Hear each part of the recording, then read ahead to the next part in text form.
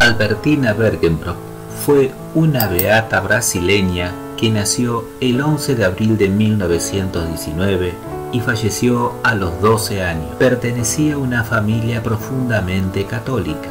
En la tarde del 15 de junio de 1931, Albertina estaba apacentando el ganado de su familia cuando el padre le pidió que fuera a buscar un buey que se había alejado. En el camino se encontró con un hombre conocido de la familia que se ofreció a ayudarle. Engañada, la condujo a un bosque cercano pidiéndole tener relaciones sexuales. Albertina se opuso firmemente para defender su pureza y el hombre intentó violarla pero como no pudo conseguirlo, extrajo una navaja y le cortó la garganta, causándole la muerte instantánea.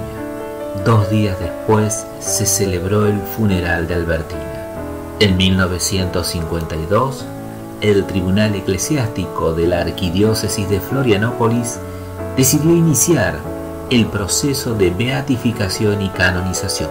El 16 de diciembre de 2006, Benedicto XVI firmó el decreto sobre el martirio de la sierva de Dios Albertina Bergenbrock y el 20 de octubre de 2007 la beatificó. Su festividad es el 15 de junio.